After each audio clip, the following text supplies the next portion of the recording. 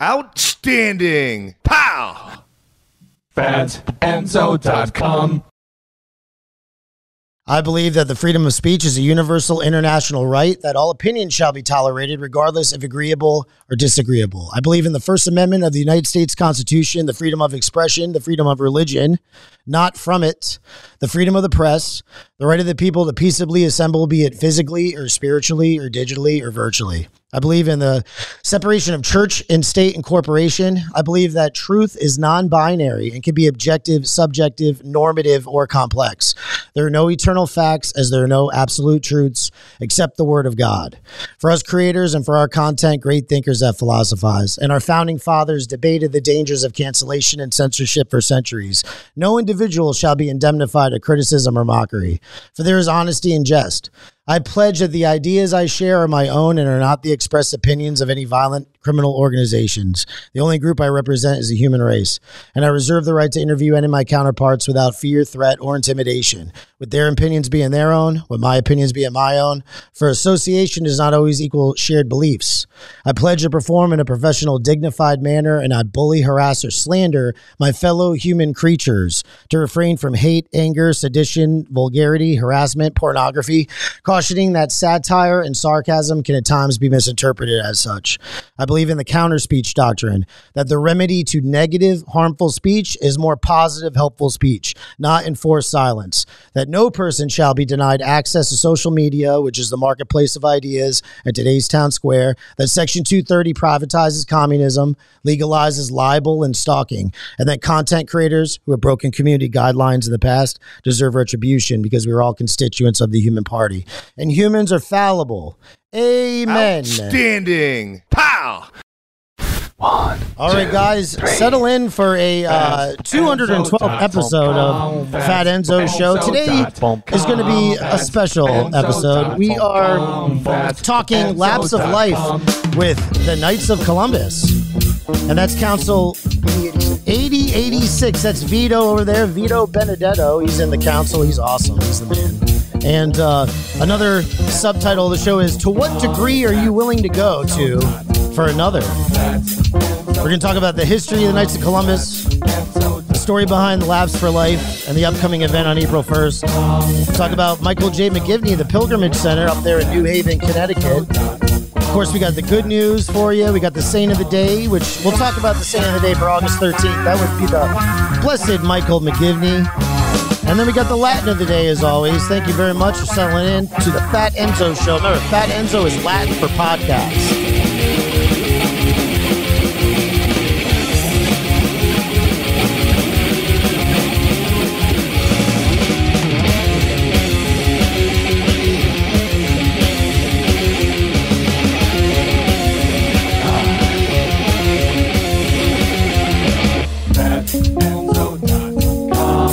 What's up, guys? So this is going to be good. Thank you so much for uh, doing this. I really appreciate it. Enzo.com. Fats. Enzo.com. Fats. That's key. You got to be elaborate. All right, here it comes. Good day, do followers. This is your based Catholic liturgy program. It's the Holy Ghost daily dose of digital divinity. And if you don't know, now you know the Fat Enzo show is Latin for podcast. Today we'll cover the good news from the book and the bad news of the world. And now, your host, a former altar boy who couldn't get molested in the basement of a rectory, Robert, Vincent Piccirillo. Oh yeah, here I am, and uh, I'm, I'm at my uh, my local church, and I'm talking to my uh, local crew over here of the Knights of Columbus, the 8086. Yep. Is that Council 8086? Council 8086, yeah. Council 8086. That's that's Vito over there speaking. We got Roger. Roger, we'll just call we'll just call you Roger. Yep. Grand Knight. You're you're the Grand Knight. Yes. Everybody's good with being uh, transparent in your names and everything like that, despite uh, you know anybody on this show that might have an affiliation with uh, you know Something else. something else. Okay, that's good. So uh, you're you are what is your title? I'm the Grand Knight of Council 8086. Nice. So that's like the head. Yes, I'm the leader. You're the leader, right? And you and and to your left, My name is Tim Mell.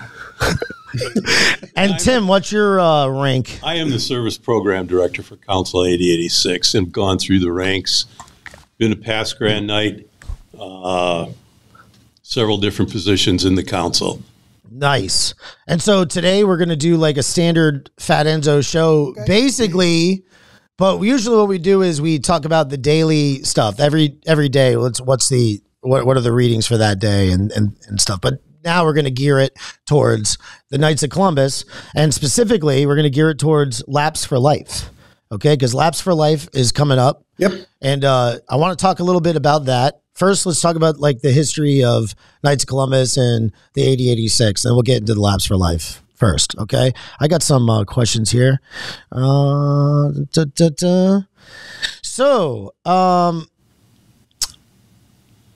oh, okay, okay, okay. So, what inspired you to be a member of the Knights of Columbus, and how is that? How has being a member impacted your life? That's a little good one to start off. A little Yeah, that's a great question to start. softball question. What impacted me to be a knight? Tim. What was it? It was Tim. It was. It was Tim. I attend, my wife and I attend the four o'clock mass at Our Lady of Hope. And I was uh, coming out of mass one night, and Tim walked up to me and he says to me, Hey, how are you at softball? And I was like, uh, Suck, bad. Why? He's like, We'll talk. It's okay. So time went on, and once more, twice more. And then I went through a little bit of a health issue where I had to take a back step. And then Tim came up to me with what you signed up with as a Form 100. And he says to me, "Come into the into the into the parish store right here and fill this out." I was like, "Oh, okay." so my wife says, "What are you filling out?" I said, "I, th- I think I'm becoming a knight. Could be wrong, but I think I am." And I filled it all out. And Tim looked at it. He said, "Great, I'll be in touch, and you'll come to the first degree meeting." And I kind of left like, "What a first degree meeting? What is?" What are we talking about? Then I came to the first degree meeting. I actually had to skip uh, one for the ongoing health issue, which thank God has been resolved. Um, but then I came to that first degree, and the way we used to do it was the degrees were separate first, second, and third. Now it's compiled into one where you're automatically a third degree, which you attended. So I came to the first degree, which is actually in this room, and it was beyond impactful the lights go down, the music is playing, the the degree team is exceptional. Um, it's informative, it's fulfilling, it's a little scary. Some of the things that go on because what you have to understand is, and what they what they impact with is the first degree is charity, but what they remind you of is that you know live your life because death is coming and you just don't know you don't know when it is. You know, none of us get out of here alive. We all know that. Um, but it's very rewarding. And then I did my second and third, and then eventually the fourth. Um, what impact has the Knights had on me? Um, immeasurable. I've met some amazing gentlemen. Um, I think the biggest impact for me as becoming a knight is it brought me closer to the parish. I'm an usher in the church as well. And doing all the charity work. Charity is, you can't put a measure on it.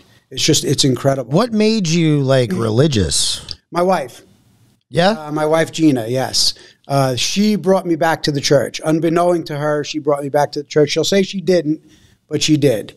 Uh, my wife and I dated back in 1984.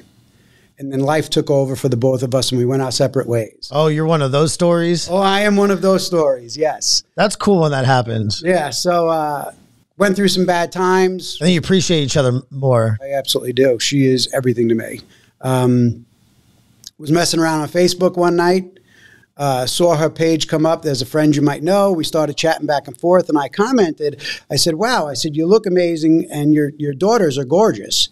And she said, "They're not my daughters; they're my nieces." I was like, "Ah, boy, I messed that one up already." And she goes, "My, my life is not doing so good right now." I said, "Well, let's get together. Let's have a cup of coffee."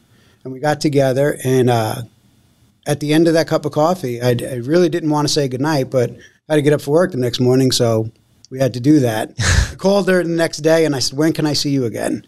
We got together over the weekend, went out to Westhampton, um, had a beautiful day, and it just it went progressed from there. And we were dating, and and she was going to uh, St. John's Church in in uh, Center Moriches on Long Island. And I called her up. I said to her, "When do what mass do you go to?" She says, "I normally go to the 7 a.m. mass." I said, "Can you wait for me because I'd like to go to mass with you? Can we go to the next mass?" And I went to mass with her, and I was sitting there with her, and just it. There was no turning back. It just clicked. It everything fell into place. Everything that I thought I had, that I thought I wanted, that I thought made me the person, I, I was wrong until that moment. And it's her. I have to thank her for everything. For this moment, I have to thank her because without her, I wouldn't be sitting here. Guys, do you have a moment like that where you- I was a cradle Catholic? Let me just, I'll share for a sec. I was a cradle Catholic and I went to Catholic school my whole life. I didn't want to go. My parents sent me, and I had to wear the. I didn't want to go at all. I really, I didn't. I wanted to go to public school and stuff, you know, and so I would, it caused problems because did to, just to get in trouble, get kicked out or something like that, whatever. So anyway, then went through life, right? And then I experienced a bunch of losses and then found myself going to church. And I was like, I don't know, there's something comforting about it that I grew up with or something. But then it gave me a, a certain peace that I really didn't know I had. Even though these people that that uh, I lost didn't even have faith, even though we are Catholics, we didn't even. They were like secular Catholics, you know, like ca- Catholic in name only, Chino Yep. Right? And but something about going back and then re discovering Catholicism. I I love it. Well, no doubt. I mean, Roger had brought that up earlier that, you know, mm. in, in your younger years, I don't think you really understand what the church gives you. You know, when you're 20 years old, you're infallible. You're never going to die. Nothing's ever going to break. Mm-hmm. And you don't, I don't think you, it's a, maybe it's a bad way to put it, but I don't, I don't think that you feel you need the church. I'm getting you're on autopilot. you know, getting, right. That's what I felt right. like. I was on Right, autopilot. getting older and then once you once you sit there and you listen and if you're fortunate enough um, which i was to have a, a, a, a priest up on the altar that you just connect with and this priest was a young priest and he was very energetic and you just connected with him and you you know when mass was over you didn't want it to be over you wanted to go back and it and fortunate enough here as well at Our Lady of Hope that Yep. the, the pastor here is just amazing. and I was an altar boy. I never got touched. You know, I, I, I had good. I had good priests. So I was looking. I always had good fond memories. I all my friends still like. I'm still friends with all my friends. That's cool. from school. Yeah, man. We had sh- uh, smaller classes. There's a lot of benefits. Anyway, did you guys ever have like a come to Jesus moment? Well, I, I was born Baptist. Okay. Oh, this is gonna be good. And, and it, you know, it, it was good. And I still feel it was very good. The way I was brought up, you know, we aren't, Ooh, interesting. we, we get baptized when we're ready, when, when we see the Lord, when we feel really? And I think I was eight years old, and I just came to the altar and said, I want to be baptized. And the next class was like a month later, and that's what happened to me. But as I went from one Baptist church to another Baptist church, we read the Bible a lot. We really understood a lot of the Bible. Well, when I met my wife, uh, she was Catholic. And my family said, uh, that's not going to be okay because I still love this woman. I, and I, I said, there's still something missing. And she took me to the, you know, the mass. I says, something's different here. Something's absolutely different here because we don't do the all the consecration and all that. We just, you know, maybe once a month on a Sunday night, we do the, the bread and the wine. And I've read about, you know, everything that's in the Bible, I read about, and the Baptists didn't practice it all. But when I got into the Catholic Church, as soon as I met Lisa, that's that's all it went took. I went over there. I said, "I'll gladly change because I can see you do more about the you do more of what the book says than the Baptists do." Okay. Now, so far, two people were converted because of their wives. Yeah, but it, it, I mean, it, it, yeah, it wa- was it wasn't. Oh, no because- doubt. I mean, I, I believe the Catholic faith completely. I really do, and she'll tell you I'm more Catholic than she is, but I don't believe that. But uh, her parents, especially her dad, he was a hero to me in the church. He religiously went every week. Didn't always go daily because he had an early morning uh, security guard system. But uh, I looked up to him all the time because he taught me more about the Catholic Church than she did, and not, that's not nothing wrong with that. But uh, we were fortunate to be married at St. Pius X up in Flint, Michigan, by a That's traditional. yeah, but it was by a priest that wasn't the head pastor. The head pastor gave us a time and date, and he decided to take it away from us. So the secondary priest, he says, "Wait a minute, I'll take you. I'll get, let's do that same day. We'll just get a different time." Well, not unbeknownst to me at the time and anybody else, but he was one of the priests you didn't want to hear about, the, the pastor himself. But the one that married me ended up turning to be a he's a bishop now. In, Wow. in Birmingham, Alabama. In fact, we're getting ready to do our 40th, and we're going to go see him to get our renew our vows. Awesome. But uh, I, I got to say, when I changed Catholic, I just well, this is what I was reading, but this is not what we were practicing. Yeah, because Baptists they don't really uh, see the same veneration that we have for Mary and stuff like that. They don't. They think, oh, those are saints, and that's Mary. Goes, we don't pray to them. We ask them to pray for us, Right. step in to help us. Yes. You don't understand that part at all. I'm not, I'm not trying to blast the Baptists because they, they have their good things. They read the Bible all the time. And what about the meditation aspect of it? A lot of times in other denominations of Christianity, they'll be like, "You have one of those things where you like kneel." Yeah. That's weird. They, they don't do that. Like, really? That's weird. I think that that's weird that you don't. Yeah, I agree. How do you not like meditate? That's all part of praying. Yeah, you're right. That, you just don't. You don't. It's all. Uh, it's all in your. mi- It's all more mind. Right. Like like when you're sitting there and you're you're struggling to come up with words to pray. That's in your mind. Mm-hmm. You know, when you have words that are already written for you, that's a mantra that you're not thinking. Like I just rattled off that thing. Yeah, I wasn't thinking. it's just there. It's just there.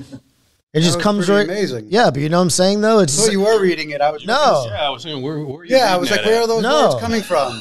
no. I'm just. It's just the same way that we know we know the uh our our our creed or anything. Our Father. Creeds and all that. It's the same way. You know, you say it enough, you're not even thinking. You're just saying it. You're just rattling it off. Right. But that's part of it. With that, for me in Catholicism, that makes me like meditate when you're saying that kind of stuff. So, what about you? What about your moment where My you moment. always had, you always were uh, I was Catholic? I was a cradle Catholic, yes. Went to Catholic school up until uh, high school. Uh, then I transferred into a public school and found out there's a big difference. Uh, first time I answered a question in uh, high school, I stood up, gave my name, and uh, I, everybody started throwing stuff at me. And the teacher, said, you don't have to stand up here; you can sit down.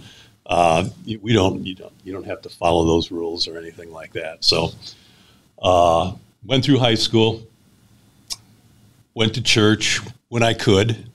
Uh, I became a uh, after high school, went to college, became a uh, joined the Air Force. Again in my twenties, and religion wasn't the biggest thing in my mind at that time. I had a uh, uh, had to, had to save the world at that time, so I went into the Air Force, was a pararescueman. Uh, my whole life. I did that as a reservist. Became a Michigan State Trooper. Uh, did that uh, for 25 years. So between jumping out of airplanes and helping people and chasing bad guys, uh, kind, kind of at the end of that uh, is when I uh, got more involved back uh, into the Catholic Church. Like you said, there's that period of time where you're, you're working on your family, seems, and you're working on your career, and you're working on whatever your mindset was as to why you were here. And my mindset was to help people and work for my country at that point in time. So after I got older, got more back involved with the church and with the Knights of Columbus. Yes, and I, I, I did you find that same like camaraderie, that same brotherhood that you shared in the military service and in uh, policing that you found like with the knights? of Columbus. Yeah, Absolutely. Absolutely. because I, I found that a lot, a lot of times fraternities, brotherhoods, like clubs, you'll get like more veterans will join because of that because they're kind of like missing that Right. Yes. Same kind of thing. Absolutely the same kind of thing. Nice. And what about you guys? You guys any veterans? Or- I am. I am not. Unfortunately, no. I am not a veteran. Right. Yeah, me neither. I wish I was. You learn so much. But but so like talking about brotherhood, what got you into this? The Knights then. Um, you know, he he was when you were so you just were you just started going back to church at that point more often Uh, during my whole career, after you retired? after I retired, yes, absolutely. Yeah. Yeah. During my career, uh, work had a lot to. Somebody came up to you and and uh, solicited you like you were soliciting Vito. Uh, yeah, kind of. yes, yeah. It's it's. Uh, you have people in a, have a particular job uh, in the Knights of Columbus. Okay, can you tell me about that for a sec? Yes. Yes. And um, We've all held that or well, rank. yes, The yeah. chancellor. The chancellor. The chancellor. The The chancellor. chancellor. Okay. one of his main jobs is recruiting people. So, uh, and that's what I did it. I did it for two years, um, and everybody has their goals. So the Knights of Columbus have their goals, and they want to make sure you try to keep recruiting people into the organization. So you give them the information. So and they have. Uh, we made our numbers both years. I really enjoy it. When you start doing it, even though you're not in that position anymore, you move up from uh, chancellor to deputy grand knight to grand knight. You're still always a chancellor. You still always want to talk to people and get them interested in the Knights of Columbus uh, because it's such a great organization. We do so much uh, for the community and for the uh, uh, parish and the church as far as charity goes. Uh, we help a lot of individuals and we save a lot of lives. And that's one of the things that Vito will be talking about. Oh yeah. Coming events. So. Yes, we're going to get into the charity aspect of it definitely. 100%. Let's do the um readings of the day. Enzo.com. So, just so you guys are aware, what I usually do is I do um, the daily mass, but today because it's all uh, has to do with Father McGivney, I got to read this right here. In accordance with the guidance, Knights of Columbus chaplains, as well as priests with active councils in their parishes outside of the Archdiocese of Hartford, may seek permission from their diocesan bishop to offer a votive mass of Blessed Michael McGivney on August 13th. In this way, masses honoring Blessed Michael McGivney may be offered for gatherings of knights around the world, provided the permission of the local ordinary is obtained.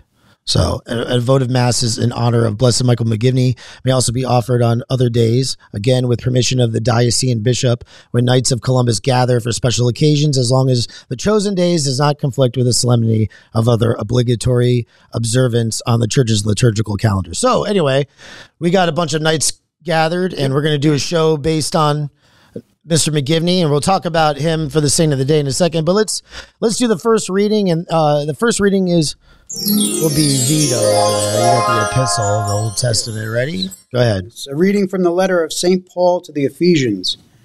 Brothers and sisters, I, a prisoner for the Lord, urge you to live in a manner worthy of the call you have received, with all humility and gentleness, with patience, bearing with one another through love, striving to preserve the unity of the Spirit through the bond of peace, one body and one Spirit.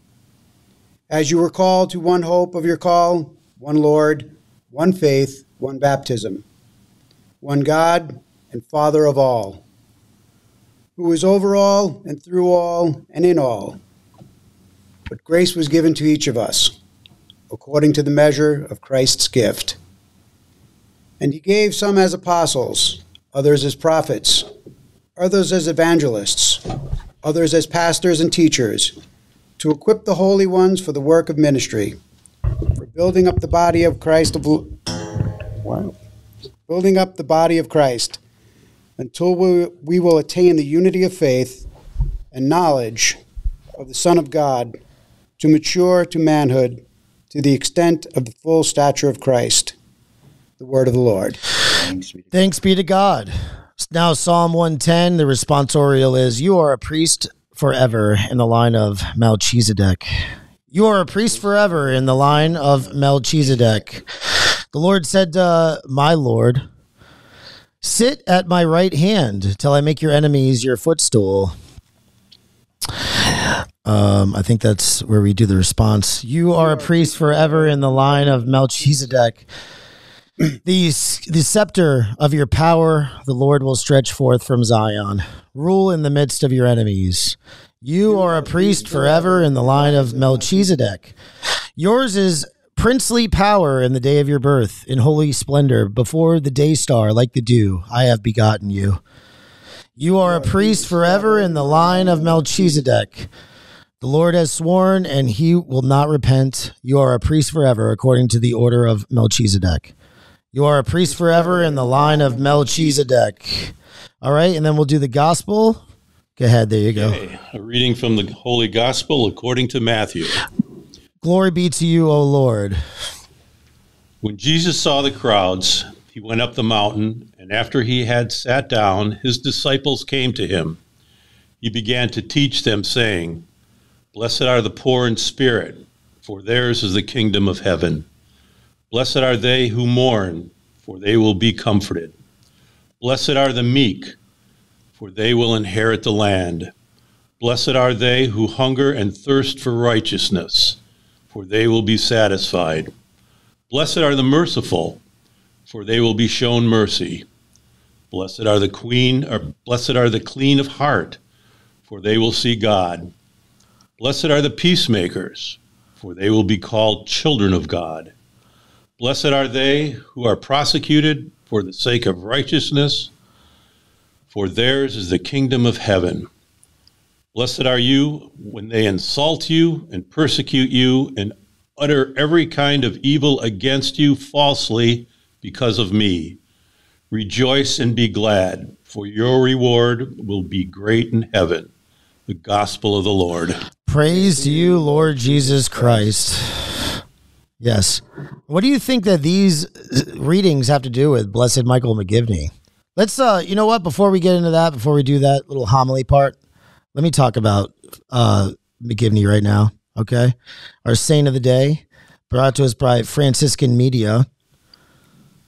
Blessed Michael McGivney, the eldest son of an immigrant Irish family in Connecticut, young Michael left school at 13 to work in a brass factory making spoons. At 16, he began studies for the priesthood in Quebec, but was obliged to leave to help support the family when his father died. Michael completed his education in Baltimore, Maryland, and was ordained for the Diocese of Hartford in 1877. Assigned to St. Mary's Parish in New Haven, Father McGivney was very active in parish and civic affairs, serving as director of public plays and fairs. He volunteered to become the guardian of Alfred Downs, a miner whose father had died, leaving a large family in poverty. Oh, so he was like a real father, actually. Adopted father, kind of. Interesting. This situation, as well as his own family circumstances and that of other immigrants, impressed on Father McGivney the need for lay Catholic men to establish a mutual aid society to provide financial assistance for their families if the primary wage earner died. Protestant fraternal groups already provided this type of life insurance protection for their members. In, in 1882, Father McGivney formed the Knights of Columbus among a small group of St. Mary's parishioners to promote charity, unity, and fraternity, assisting widows and orphans. Because of the Knights' emphasis on serving church, community, and family, the organization grew and did not remain strictly parish based. Patriotism was added as a founding principle in 1900. Father McGivney died from pneumonia in 1890. He was buried in Thomaston, Connecticut. Later, his body was moved back to St. Mary's in New Haven, where it remains to this day. He was beatified in 2020. And uh, just a reflection on his life. Michael Joseph McGivney was a genuine pastor who, in the words of Pope Francis, was una- unafraid to share the smell of his sheep. He promoted families whose members were strong in their faith, expressed through generous following of the corporal and spiritual works of mercy. In a decree read at the beatification mass, Pope Francis praised Father McGivney's zeal and the proclamation of the gospel and generous concern for his brothers and sisters. These made him an outstanding witness of Christian solidarity and fraternal assistance. So there's that. So now we know who this guy is, and he started this this group, Yeah, and all of us joined. we did. and it's pretty much like all charity. It's all like I mean, they said that there's a little bit of a patriot patriotism Well, aspect. that's that's the fourth degree, which as you read- that's the fourth yeah, that's the degree. fourth degree, which as you read, Talk to me about the on. degrees. The degrees. First degree is charity, and that is uh, that is the I believe the paramount of this organization is charity. Um, everything that we do, we do for the sake of parish, community, neighborhoods, uh, the underprivileged, uh, the impoverished. We do it for everybody. No one is left out. You do not have to be a Catholic uh, to be. What? You do not have to be a Catholic to receive our. Charity. Shut up. You don't. You don't have to be a Catholic to be a Knight of Columbus. To be a Knight of Columbus, you Oh. have to be Catholic. Okay. To receive our charity. oh, okay, okay, okay, got it. Sorry, my bad. Our charity has no boundaries. It Okay. has no limits. Okay. Everyone is entitled to our charity. Then second degree is unity. Unity is what you were doing right now. The unified brothers together as one, as a group. As a group, larger group, we can do more. Fraternity says, I will stand by you shoulder to shoulder. Through thick and thin, through right and wrong, through less and more, I will stand next to you and I will help you. And I would hope that my brothers would do the same. Fourth degree is patriotism. And that basically is country. It's the veterans. Fourth degree is more based towards veterans. Our fourth degree does a lot for the local um, halls of veterans. We do. Uh, we're actually doing two cookouts this year for them. We normally do one. We're doing two. Um, we did a program in conjunction with Gary Sinise where we gave back um, the star program and what they did was they took stars from retired flags with a prayer in them and we handed them out and so everything is done on donation and that enabled the fourth degree which is an assembly which is a, a, a group of councils together and we gave back to to the veterans so again it's patriotism but its its basis is charity give back Right. that's what we do. That's that's what we do. It's awesome. What is um the most outrageous thing you've ever done in the name of Catholicism? Outrageous. Yeah, would know. you ever say anything like, yeah, totally like what am I doing? I'm doing this for like there's there you can go on uh, on walks for miles, right? Yeah. Oh, you can. Pilgrimage or something like that. You could do yeah. there's a lot of stuff like what was what's the craziest thing you've ever done I wouldn't for say- Catholicism? I wouldn't outrageous. say craziest. I would or outrageous. I would say most rewarding. Would you say it's joining the Knights of Columbus and doing Well, if you let's let's turn back the clock uh, 15 years ago, before my wife and I got together. Um, if anyone said to me, "You're going to be doing a podcast as a member of the Knights of Columbus," I would have said, "You- "You're crazy. It's not happening. No way." Um, So it's not back then crazy the thought of it. Now rewarding. you got any friends that are like, what are you doing? You that you're so into Yeah. Being Catholic? Even my whole family wonders what's what I'm doing all the time like that. Why are you busy? Why can't you do anything? He goes, Well, I'm the Grand Knight. I try to help everybody out. I try to organize charities. I try to organize my my officers who do a very good job. I am very pleased with the officers I have. They're unbelievable. Leading isn't hard with these guys. They just they know what they're supposed to do and they do it. How long have you been in the organization? I've been in since 2012. I was brought in through a chirp uh, team, and church stands for uh, Christ Renews His Parish. That was up in Michigan. I had three brothers and a deacon that were with me. We decided, let's go join the Knights. We, you know, we knew about them because up there, most of them were skilled tradesmen because they worked in all the factories and all that. So they took care of the church. They do all the cooking. They do everything for the church Yeah, they that wanted to be part of that, and they were the thing they were starting to do was they wanted to put an eternal flag up for the unborn. And I mean flame, not a flag, flame. And it sounds crazy, especially up there as cold as it is and windy as it is. How you do that? Well, we designed it, and it's not stopped since 2013. It's never gone out. one thing I got to say is just uh, coming and and uh, you know happening upon this church and seeing the community and the way that, uh, like for instance, the Sunday breakfast is all is always provided and everything. And like you, what you guys are doing yesterday, you're doing a fish fry. Fish fry, yes. and uh like it's it's just so much community in this particular church right Absolutely. I love it. We, it's, it's not just for us. It's not just for the church. And it's all the Knights of Columbus. Everybody gets involved. And when I'm when I'm traveling, I was traveling in Tennessee a couple months ago. I went to a mass out there, and they're like, "All right, well, we're, we don't have our usual today. Knights of Columbus don't have. They didn't provide or to, I guess everyone's like, what? That's we we always have it. Like the Knights of Columbus are always in the communities providing stuff like that, which is awesome. Yeah. Right. Yeah. Tell me about this Laps for Life. Let's do that. Can you tell us the history and mission of uh, the Knights of Columbus and how it relates to the Laps for Life 5K fundraiser? Wasn't it here? Because I did a Google search. I was looking, and uh, when, when you Google Laps for Life, it comes up, Florida comes up a lot. I was trying to find the other organizations, and there's a couple. There's one in Australia or something. There's there's some throughout a little bit, but it seems like it started in Florida. Florida, I don't know. Was it started by this council? No, it was not started by this Central. council. Coastal was right. The Yeah, coastal, Coastal Laps for Life was. Yes, Coastal Laps for Life was started by this council. Uh, the reason why Florida comes up is because we do lead, um, and not, there's no bragging rights here, and there's no hooray for us. Um, but Florida does lead in the amount of ultrasound machines uh, donated to women's facilities. So that's why on the Florida comes on up. the screen. You can't see it, Vito, but I got the Coastal Laps for Life. Um, coastallapsforlife.org basically up here Mm. um, and and this is this is the upcoming 5k Yep. that you can register for which is sponsored by the knights of columbus council 8086 of our lady of hope catholic church and this is going to go down april 1st Yep. 7.30 a.m there's a 5k walk uh 8 9 15 a.m there's an opening ceremony and then 9.30 to 12 there's a walkathon all right and then can i read the goal here Go ahead. it says that our goal is to raise at least $15,000 through this event. Why $15,000? Because with $15,000, we can purchase a new ultrasound machine to put in a pregnancy crisis center. Our mission is to put ultrasound machines in as many places as we can we can because research shows that when a mother sees her child in an ultrasound, she is 60 to 70% more likely to keep that child.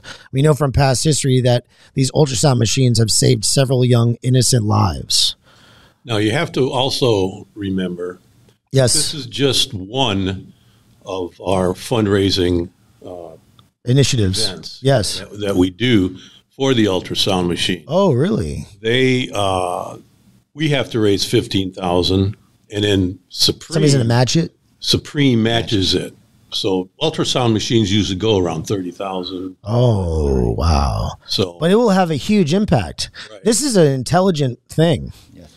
It's it's very calculated, and right. And then this is also where it gets into the like you know I, I know that the Knights of Columbus is not uh, political. It's all about charity, Correct. and it doesn't matter what your political persuasion. Right? Everybody connect is connected. Correct. That we're all Catholics. Yep. and we're all doing charity for other people. Exactly. But you can't help but get in into politics when you talk about pro life, pro choice. I mean, there's a lot of the people you'll you'll probably engage with people who are very political when you are, are out doing your thing, doing your walk or whatever it is, right? Can you tell me about that. Well, We get pushback. we well when we do our walk out front of the church once a year we have people that honk their horns driving by and they salute you different ways which is the easiest way to say it. Some people like what we're doing some people don't but and that's their choice but we are going to stand out there and say this is what we believe in. This is our mantra. You can't take this away from us.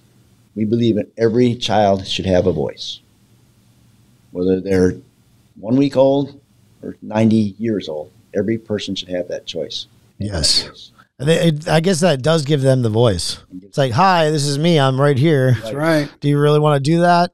Yep. That that's that's the whole concept. The whole concept is to bring awareness and and and our voices today. Without our voices today, without these projects, those voices don't get heard. They don't get a chance.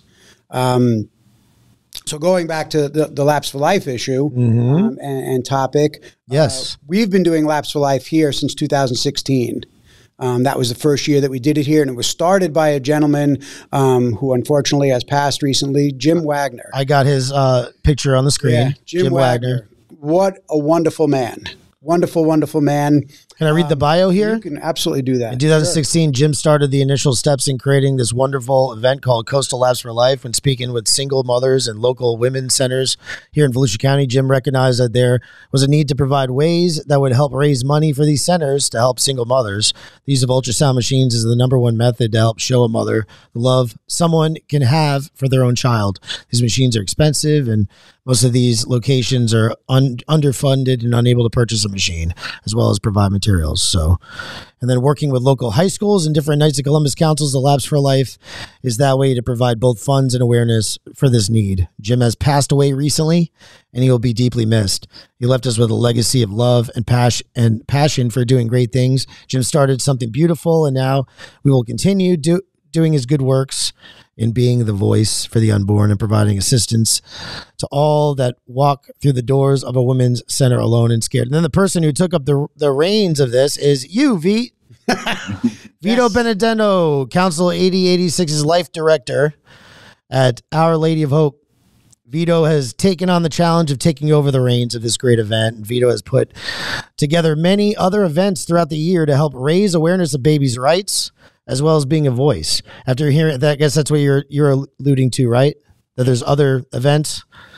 After hearing single mothers that had gone through uh, to full term and what it meant for them, only helps to motivate Vito. We know that he will help bring awareness and carry on the legacy of Jim Wagner. So, so Jim Wagner, may he rest in peace. He recently passed away. He did. He recently passed away. Um, he became ill um, uh, some years ago. Um, went through a double lung transplant. I didn't even know you could have a transplant for your lungs. Double lung transplant, and and it it came Wow. it literally. Miracle man. He is the miracle man. Literally, the lungs became available literally at the last minute. He was on 100% oxygen. There was no way he was breathing on his own. And uh, he was given the gift of life. And he went through that surgery and he came back very, very strong. Unfortunately, um, his health did falter recently and he succumbed to his illness. Um, and he is deeply missed. Um, and I've said it before. I'll say it again. Um, I never alluded to it, um, but he was a mentor to me.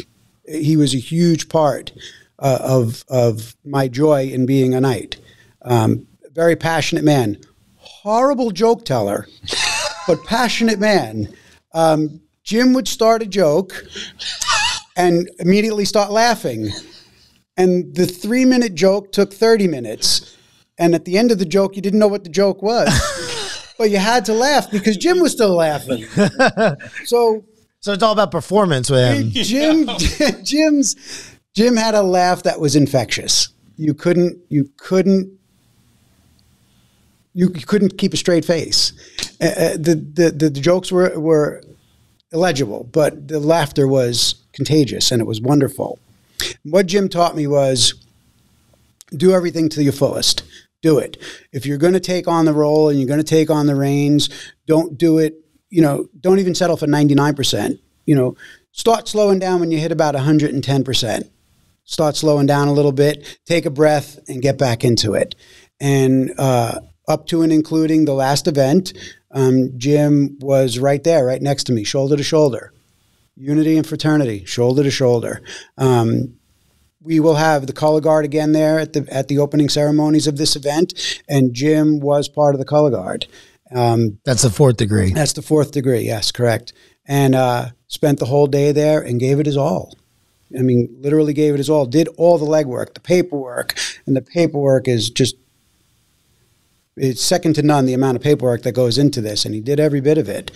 Um, he just made it a wonderful event, and I think the goal here this year is to take it to another level um, in, in honor of Jim, and, and just say, Jim, all your work and everything that you did for us will not be forgotten. It will never be forgotten, and we're going to build on it. And, and your name will always when when when Laps for Life is mentioned, Jim's name will always be mentioned. When the when the Brotherhood of 8086 is mentioned, Jim's name will always be mentioned.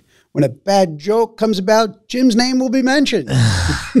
yes. and and I can only say I. I the, the, his memory is always endeared, and, and much love to him. Much love to him. Let me do the Latin word of the day here. Latin word of the daytime. Oh, where's my intro? Where is it? It's right here. Oh, here it is. And Enzo.com. It's time for the Latin word of the day. Woo! the Latin word of the day is this is going to be a good one, guys. You're going to see how it pertains. Ca- Caritas.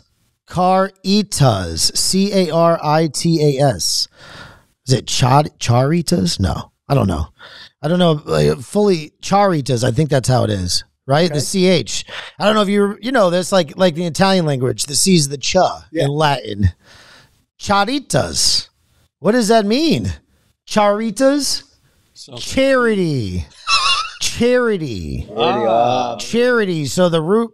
Yeah, I know, right? Like I was always thinking like carnitas. Like that's this was. I immediately yes. It immediately makes me hungry too. I want Mexican food. I love Mexican food. Anyway, charity. So charity Char- charitas is the root word for charity. Charity comes from the Latin noun charitas, which is derived from the adjective charus, meaning dear. It originally meant Christian love of your fellow human beings and only started to be applied to organizations that help others in the late 18th century. Christian love in its highest manifestation charity, mercy, compassion, alms, charitable foundation. From Latin, charitatem, uh, costliness, esteem, affection from charus, dear or valued. In the Vulgate, the Latin word often is used as translation of Greek agape, love. You guys know that there's three words mm-hmm. for love in Greek, right? Mm-hmm. Got the phila is like Philadelphia, brotherly love, right? Agape is a different kind of love. So that they were using that as a synonym when they transferred over the Bible to Latin.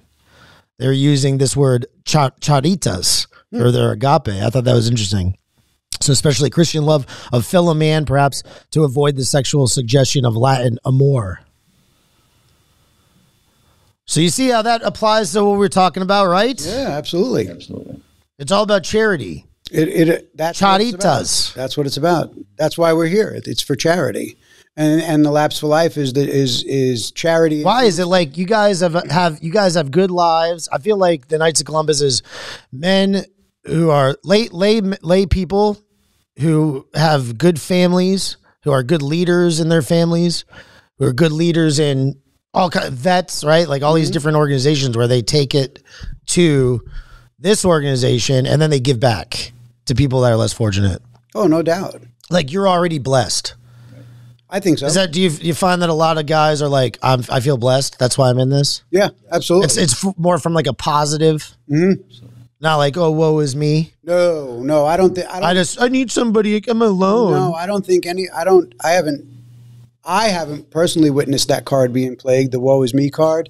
Um, I am on the side of what you your original statement. I think. I think why we do what we do is because we are blessed, because we're fortunate enough to have the means that we have. Right. you know and and when you when you get asked why do you do it why do you do it because i can because i can and because i can i will and that's that's the blessing Right. i was i was given the opportunity to do this And do you feel it come? I know people don't do it just because they want the the karma to come back at them, and then have you know a good life. Because I did good, but does that come back at you? Do you feel it like you'll get positive? Because you're giving back and being positive, do you feel you- it coming you- back into your yeah, life? Like no you're getting doubt. If you put the repaid? positive out there the positive comes back Yeah, I think. Yeah, no see- doubt. You see the rewards, not awards, but you see the rewards when, like, I, one of our ESE teachers that we give money to every year out of the Tootsie Roll Drive, how much she says we could not survive without you guys. The coach for kids, we give out the kids coach, we give them to the staff, but every once in a while you have a child there that had one, and they'll say, "Oh, thank you very much. I had mine last year," and it's just a reward coming back to you when we do our hurricane nights. We put up shutters for the elderly, for the people that, that don't have any way to get it done. There's so many different charities we have out there. What, what's your favorite fundraising event or My favorite. that or or event or event that we put on we put on to get people what's the best Knights of Columbus favorite event. fundraising event Yes. is the Duck Derby because I originated that and came up with that idea. And What is it? what is the Duck Derby? Yes. Sell them some ducks. Yeah, I mean, We're going out duck hunting. well, we used to use live. We ducks. got dogs. No, no, we used to lose, use live ducks, but we could after we stamped the numbers on the bottom of them, they didn't want to have anything to do with us anymore. so the live duck theory didn't, or the Didn't pan out. What is what is going on with this? okay. what we do is uh, at the uh, fall festival uh, with the city of Port Orange, we have a duck derby, and all throughout the year at different events, uh, we sell chances for people uh, to win if we pick their duck. Uh, prize, which is first prize is a thousand dollars. So these are people that have farms and stuff, and they have like ducks who are. Nope. These are plastic ducks. Oh, I told you the live The ducks live duck didn't didn't pan out. okay, okay. So, So whoever has the best duck well, whoever gets their duck picked. picked. Okay, Okay. we have four prizes. First prize is a thousand, five hundred, two hundred, and one hundred dollars. And though that money is supplied by our sponsors, uh, can you say a sponsor's name? Is that Sure. okay? If you can, yeah. Richie Cadillac's a big sponsor. Uh, Mullinax Ford is a big sponsor of ours. Hooligans Restaurant, uh, the Marie, uh, U.S. They don't care about being mentioned with the Knights of Columbus, right? No, no. Okay. uh, uh, A1 air conditioning or one hour air conditioning. These people that I wonder if these sponsors do are they have Catholics working at those? oh, I would have no idea. Oh, well, yes, I, I know that for a fact because one of them's a, a parishioner from our church Nice, uh, who works at um, Mullinax nice. uh, Ford. So anyway, what they do is uh, then we sell the ducks, and that money we make from uh, selling those ducks, uh, we use for our different charities. We've uh, used them for uh, the ultrasound uh, program. We've used them for coats for kids, in buying the coats. We use them for oh, what? Help me out here. What wheelchair stuff? fund, Wheelchair fund. seminarians. Seminarians, um, human trafficking. Wow. Yeah, so it's a good it's a good uh, fundraiser. People really like it, and we have uh, our nights then when on that day uh, that we have it, uh, go out into the pond uh, in in uh, the duck suit. Wears a duck suit. And goes out and retrieves the winning ducks. It's, it's an event. It's, a It's his event. personality. I already know. Yeah. I'm catching on now. Okay. So uh, Vito's a ham. He'll do whatever, right? Jim, Jim I never was. I never was. I don't know what happened. Jim don't Wagner know what was a happened. duck one year, our, our, our hero. You know, he was Nice. out there, out there helping the kids out and doing stuff. Uh, yeah. So anyway, that is my favorite fundraiser because I have possession of that. I'm the one who put it all together, and I was in charge of it. And Mm-hmm. I got the idea from Alaska. I visited Alaska, and they were having a duck derby. Oh, And uh, theirs was really cool because they came in with a helicopter and dropped all these ducks over the pond that uh, that they were uh, doing it at. And that was, Wow. brought a lot of attention to it by having a helicopter there. We tried that here with Yeah. the city. City of Port wouldn't Orange buy it. ixnayed that. Nah, nah, we can't take that chance. Wow, One that's duck goes rogue.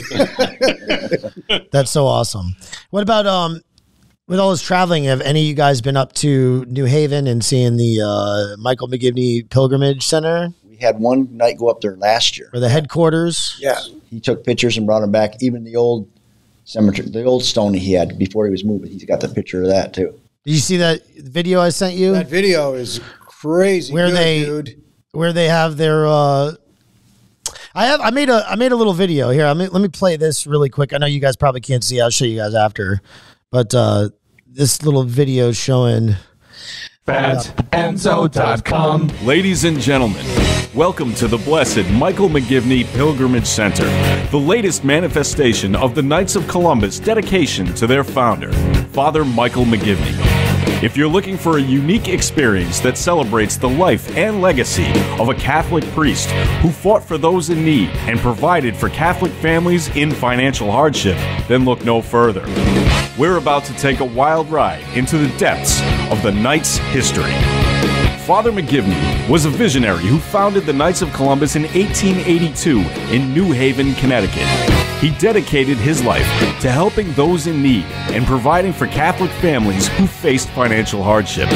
Today, the Knights of Columbus are one of the largest Catholic fraternal organizations in the world, with over 2 million members worldwide. That's no small feat, folks. The Blessed Michael McGivney Pilgrimage Center is a state of the art facility dedicated to celebrating the life and legacy of Father McGivney. Located at the Knights of Columbus headquarters in New Haven, Connecticut, it offers an immersive experience for visitors to learn about Father McGivney and his vision for the Knights. This ain't your ordinary museum, folks. The center features interactive exhibits, displays, and artifacts that tell the story of Father McGivney's life and the founding of the Knights of Columbus. You can see items from Father McGivney's personal collection, including his chalice and prayer book, and learn about the history and mission of the Knights.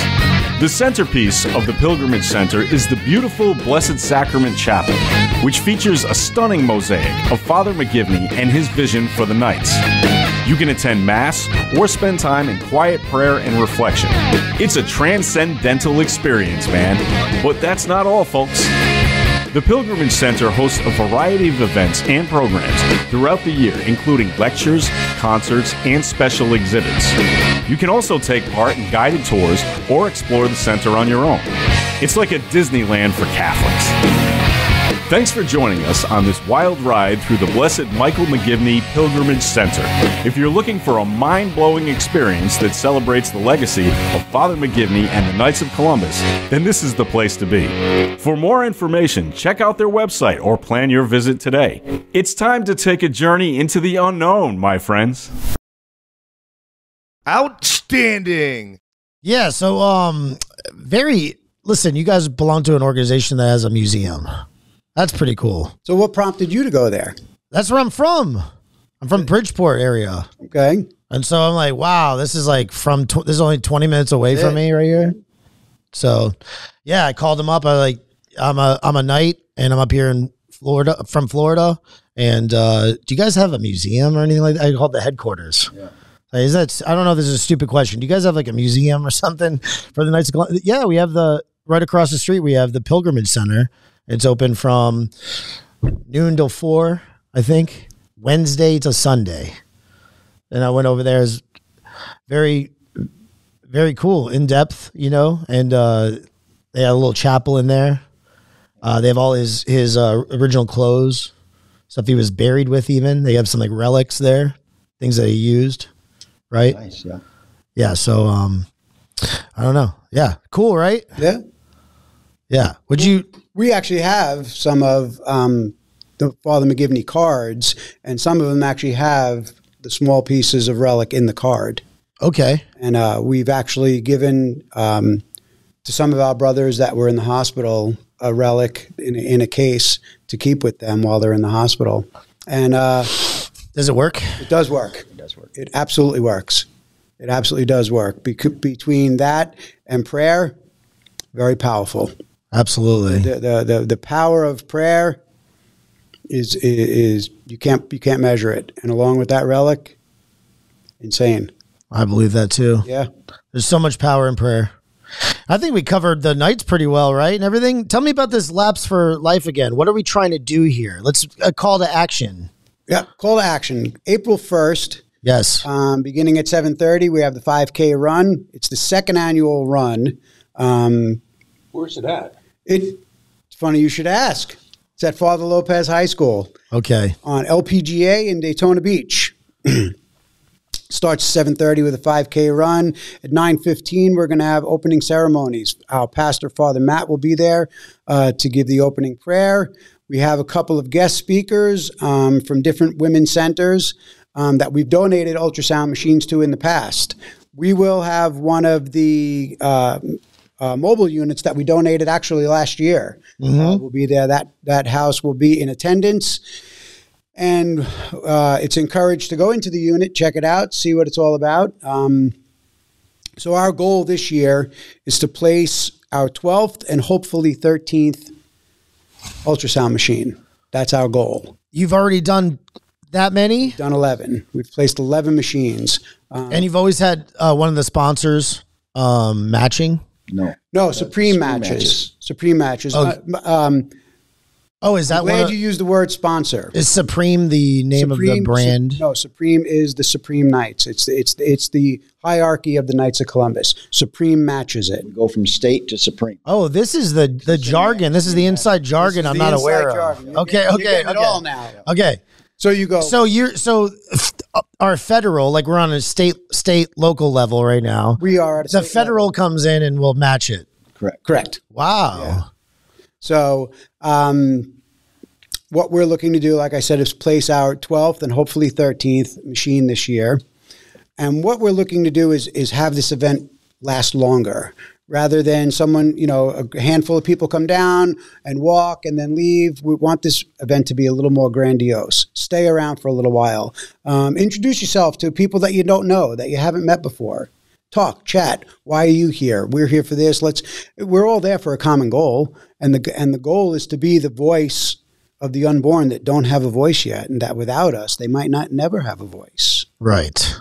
Um, so that's the goal. The goal is to Come out. be aware of life and, and know that uh, every life is important from the date of conception to natural death. That's what it's all about. Um, don't take a life away. Oh yeah. And these women um, are very, very scared, and they're from all different, all different things. You know, um, single by themselves, uh, in a relationship that isn't uh, working, in a strong relationship, but uh, They don't feel can't it's time. Or afford- well, not even that they don't feel it's time. The, I think um, the the biggest thing is is is the worry. How am I going to do this? How am I going to support this baby? Um, I was fortunate enough one time. Um, well, I've been to many banquets, um, but at this one moment, uh, the, uh, the what young lady came and spoke, and uh, she said it. She said it very clearly. Um, I was addicted to drugs. Um, I was very scared. I couldn't even take care of myself. How am I going to take care of this baby? I'm going to bring a baby into this world. I can't do it. I can't do it. And she went to the resource center, and and it was one of the centers that we actually donated to. And she saw the ultrasound, and she asked the woman. She said, "That's my baby's heartbeat." And the woman said, "Yes, that is your baby's heartbeat." And she said, "I can't do this. I can't give this baby up." And she put herself through it and got clean and got an apartment, got a job, became viable. The center helped her out with those. Yeah. You know, The center just the center just doesn't encourage these women to have the baby. The center stands by these women after the baby is born, um, help them get a job, uh, help them get an apartment, help them get interactive in the neighborhood, and and become a viable person with a beautiful baby. And I've asked this question numerous times, and I'll, I'll ask you: What's the greatest sound in the world? The greatest sound in the world. Is it a baby's cry? Oh, well, yeah, it is. It's a baby's laughter. It's a baby's, Baby's laughter? cry. That's the greatest sound in the world. When we're sitting in church and you hear these babies, whether they're kicking, moaning, crying, laughing, and some of the parishioners are looking over like a little, that's your future. That's the future of your parish right there. What about uh oh man, like what you guys are doing? That that seems like a lot of FBI agents should be coming down on you. Have you heard, have you heard about that recently in the news or whatever? Well, we don't. Again, you know that's that's not something that we concern ourselves with, and it's not something that we um, discuss. As as far as that goes, we're kind of focused on on the good of everything. Right. You know, not that we're oblivious to Yes, the world, yes. because you have to be conscientious. and You have to be conscious of what's going on. Um, but it's not a directive that we've ever even thought about. It's just you know we're in it for charity, unity, fraternity, the Catholic faith, the women that need us, the families that need us, the communities that need us. So we don't delve into that. Know, it's out there. Have you guys been to a Latin mass at all or anything? Um, I have never. No? because I would sit there oblivious as to what's being said. I could only uh, watch the actions Yeah. and and and gain you know the from the actions and from the It's beautiful. reflection of what's going on. Yeah. would be Where I would get it from. hmm All right. There's other events that Yes. Vito's uh, spearheading that also makes uh, funds and raises funds for the. Uh, Do you want to tell me about those? Well, we do a baby bottle initiative at the parish. Um, Okay. Yeah, I noticed that you guys are doing that What's that. the name of that? Yeah. What's that called? That is the Jim Wagner baby bottle Is it? fund. Yes, it is. Um, he started it. Another another thing that when you think of it, the name Jim Wagner rolls off your lips. Nice. He started it. Um, we are fortunate enough that we have a very, very generous parish, and it helps considerably. So we do that. Uh, we do so many other things. Uh, and again, you know, we don't charge. Nothing is charged. Everything is donation. Do it by donation. What you can give, when you can give, if you can give. That's it. And it's the same thing that we do. You know, that we we tell our brothers. You know, when they join. You know, it's there's no max, there's no min of what we what we demand of anyone. Um, family first, always family first. Um, but the charity and the and the participation is when, where, if. Give what you can. Yes. And, and charity isn't just monetary. Charity is time. Charity Time. is love. Charity is listening.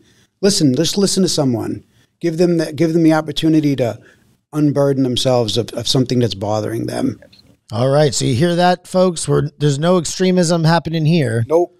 None at all. No. This is completely devoid of all that. Yep.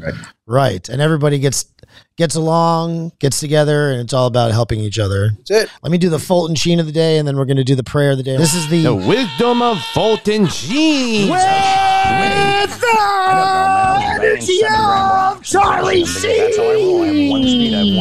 Dover Legion. You can never be commanded, for example, to like pickles. You know how based we are. Outstanding. Pow. I love pickles. That's how big. Okay. Um. So today we're we're recording this on March 11th, so I'll just do the wisdom of Fulton Sheen for March 11th. To those who rejected him, righteousness would one day appear as a temple terrible justice. To the sinful men who accepted him and ailed themselves to his life, righteousness would show itself as mercy. Anybody get that? To those who rejected him, righteousness would one day appear as a terrible justice. To the sinful men who accepted him and allied themselves to his life, righteousness would show itself as mercy. Fulton Sheen. Makes sense. Yeah. Makes He's a man. I love Fulton Sheen. Um, let's do the prayer of the day. Where is it? Right here. FatEnzo.com. It's time for the Catholic Prayer of the Very Day. professional, Patty. Good job on the soundbite. And dude. now for some completely fictional bullshit. stick to the credo, Patty. Stick to the credo. Outstanding. Pow. All jokes. It's not. It's it's not uh, sacrilege. It's sarcasm. Or right. I have no knowledge of sarcasm. None. I don't know where that comes in. So let's uh, uh we'll say our prayer. I mean, I always say like sometimes I'll say a pre-prayer. That's our intercessory prayer. That's a prayer, right? To somebody to pray for us. Yes. If you believe that the soul doesn't die, you could talk to your friend who's alive. You could say, "Can you pray for me?" Or you could say, "Hey, you're definitely in heaven. You're a saint. We know you're a saint, right? You're in heaven. Can you please pray for. please pray for us. Talk to the big guy for us. And we would say that for Blessed Father McGivney, pray for us, right? And let's do our real prayer, not our pre-prayer. Nomine Patris et Filii et Spiritus Sancti. Dear Heavenly Father, thank you for life. Thank you for love. Thank you for listening. Thank you for letting us podcast. Appreciate you today allowing um, me to podcast with these gentlemen, these Knights of Columbus, these admirable, righteous men. Fulton Sheen says it. These these guys, even if they were sinners, I know they're righteous now and what they do with their charity. Let them keep, you know, doing that charity and helping their communities. Lord, we just pray for all the people that are struggling with abortion, that they, uh, you know, take a look at that ultrasound and they make the right decision to save that baby, that life that lives within them. Help all the godless people, all the godless swine throughout this world. This either this fat, flat world with a firmament on top or globe. I don't particularly care the shape of it, but all the people herein, please you know, help us all to convert over to your son, Jesus Christ, who lives and reigns with you in the unity of the Holy Spirit, one God forever and ever. Amen. Nomine Patris et Filii. And that's it. The podcast is ended. You guys can go in peace and love and serve the Lord and be outstanding to each other. Outstanding. Pow. All right. Thank you so much, guys. That was awesome. I appreciate you. All right. You're off the hook. You guys can go enjoy your Saturdays. Thank you, gentlemen. Ah. How was it good? You like it? Yeah, They can very still hear you talking right now, just so you know, while the while the music's going on. But it's good, right? Yeah, it was. It was awesome. So push this out a little bit, right? And Yeah. Share this with uh, No some Knights. You get the word out about the. Uh, remember, to what degree are you willing to go to for another? That's the subtitle of the show. To what degree are you willing to go to for another? Join your local Knights of Columbus chapter and do something good for the community. If you guys want to subscribe, I'm sorry, but can't really subscribe right now. Actually, I didn't even tell you. Yeah, we're, not going to talk about that. We're talking about all good, positive stuff, right? Yeah. Oh, let me do the prayer to St. Michael. St. Michael the Archangel, defend us in battle. Be our defense against the wickedness and snares of the devil. May God rebuke him, we humbly pray. And do thou, O Prince of heavenly host, by the power of God, thrust into hell Satan and all his evil spirits, who prowl around the world seeking the ruin of souls. Amen. And also, I want to say really fast the prayer for the canonization of Michael, Blessed Michael McGivney. God, our Father, protector of the poor, defender of the widow and orphan, you called your priest, Blessed Michael McGivney, to be an apostle of Christian family life and to lead the young to the generous service of their neighbor. Through the example of his life and virtue, may we follow your Son, Jesus Christ, more closely, fulfilling his commandment of charity and building up his body, which is the church. Let the inspiration of your servant prompt us to greater confidence in your love so that we may continue his work of caring for the needy and the outcast. We humbly ask for you. Glorify blessed Michael McGivney on earth according to the design of your holy will. Through his intercession, grant the favor I now present. Please let Laps for Life be a tremendous success. Through Christ our Lord, amen. In nomine. Patris et Filii et Spiritus Sancti, amen. See you guys. Peace out.